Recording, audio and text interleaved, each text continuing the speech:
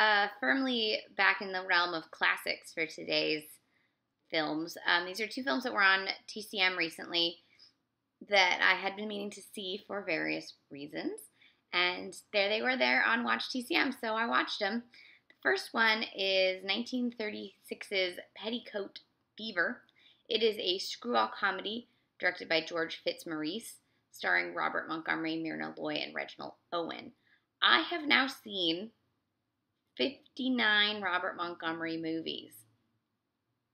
59.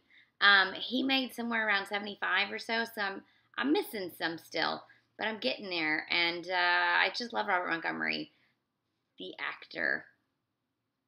I don't look into his personal life. I just I'm just gonna like put a veil there. As an actor, I find him incredibly charming. So in the 40s and 50s, he gets very like tough and, and, and dark and does like the war thing and all that stuff that happened to a lot of these actors. But in the 30s, he's just so weird and he makes all these faces and his movies make no sense. And he plays characters that are completely fictional, like they would never exist in real life, such people. Um, and so I love Robert Montgomery for that reason, and I love his presence and his persona, and uh, I enjoy his films even when they're not great. Um, case in point, Petticoat Fever is sort of a, I hate the phrase lesser or whatever, but it's kind of a lesser um, screwball comedy based on a, me- a, stage play, as many of these screwball comedies were.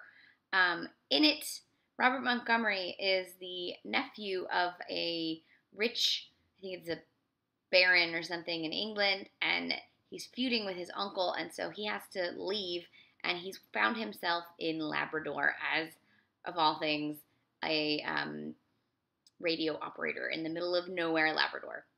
Cut to Reginald Owen and Myrna Loy are about to get married. They're also British, or she's British and he's from Montreal, something like that.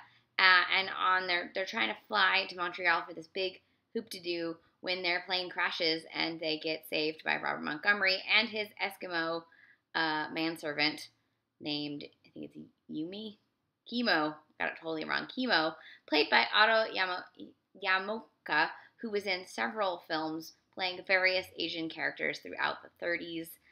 Generally, not the best representation of Asian and or Asian Americans. He was born in Seattle and was one of those many, like many an actor, um, had to put on terrible broken English to, you know, play the Asian character, and that's kind of awful. And there's a lot of it in this film because there's a lot of Eskimo and Eskimo jokes and things in this film. Um, and there's several other um, Asian Americans playing Eskimos in this film uh, of both Japanese and Chinese descent, neither of whom are Eskimos. So that's an issue.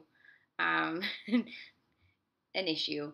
Um, the film basically, so Robert Montgomery falls in love with Myrna Loy, um, wants to try to steal him, for, steal her from Reginald Owen. Later, you find out that he has a fiance. Well, early in the movie, you find out he has a fiance coming, so you know that's happening. Um, and then you find out why she's finally decided to come and join him and how that's going to cause, you know, issues because he, he's still chasing after Myrna Loy. It's a, a screwball comedy, so you kind of know where everything's going to go. Um, I did like it because there was a lot of fake snow, and um, Robert Montgomery gets to make all his crazy Robert Montgomery faces. Not in my top 10 favorite Robert Montgomery films, but I'm glad that I saw it. Uh, the next film I watched is Tod Browning's Fast Workers from 1933. Now, this film was one that Browning was not proud of. He had just commercially failed with Freaks, which we now know is one of the great films of all time. Um, he made this film, he produced it, he directed it. It was work that was way below him. He took eventually took his name off it, so he's uncredited. It's one of the last starring roles if not the last starring role for John Gilbert. Um, it's it's kind of an interesting misfire. There's bits of it that are really good. Again, it's based on a play. Um, John Gilbert and Robert Armstrong are two uh, guys who work on the big steel buildings that are being built, and um, John Gilbert sort of plays the field, and Robert Armstrong's character has like a big heart, but he has a roving eye, but he thinks all the women are much better than they are, and he falls in love with nice girls who never turn out to be nice girls. This movie has some gender politic issues. Um, they see Mae Clarke. John Gilbert obviously has a thing for Mae Clarke. He's one of her, or she's one of his many women. He's one of her many men. Um, she makes a living fleecing men for their money. She meets Robert Armstrong through some uh, means with John Gilbert in a speakeasy, but pretends they don't know each other um, and manages to become this man's fiance when she finds out he has $5,000 saved, which is a lot of money for 1933. Things go awry because obviously now we're in a love triangle. Plus, Mae Clarke is having issues with all the other like lady fleecers, and then John Gilbert is trying to deal with the fact that he is basically a playboy, but he also has feelings, and what does that mean? Um, and then on top of all of that, their ter- their idea of what women are are terrible. And every once in a while, you get moments where the Mae Clarke character gets um, some depth with her character and gets to really show how these women wind up the way they are. Um, but the rest of the movie is so hell bent in showing women in a really terrible light that um, she never even really gets much redemption. It's unfortunate. Uh, but John Gilbert is beautiful in this film. He has the best hair.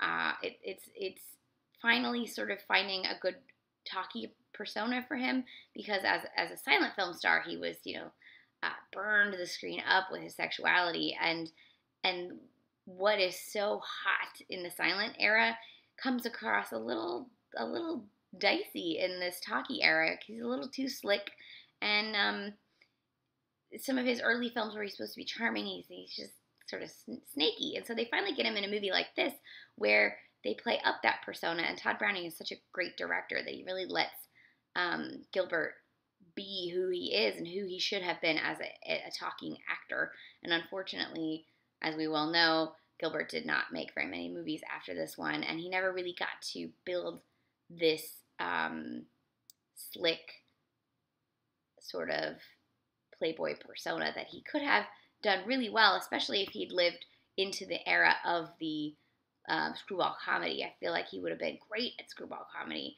and he probably would have killed it in film noir as like aging older villains. God, oh, I want that now. Okay, um, well, I'm going to write a future where that happened uh, and just imagine it. So this was uh, Fast Workers from 1933, and um, I already forgot the name of the other one, Petticoat Fever from 1936. They are both on DVD from Warner Archive Collection. They are um, streaming currently on Watch TCM, and I think Fast Workers you can also rent from Amazon. So there are many ways to watch these movies. Uh, definitely, if you're a Robert Montgomery or Myrna Loy completist, Petticoat Fever. If you are interested in in a interesting but sort of misfire of a pre-code with John Gilbert, I recommend Fast Workers. But really, with John Gilbert, I recommend going back and watching all his silent films. He is so amazing at the height of his career. Like, oh my god. Um, anyways, all the movies, enjoy them, keep watching them. Have a good night.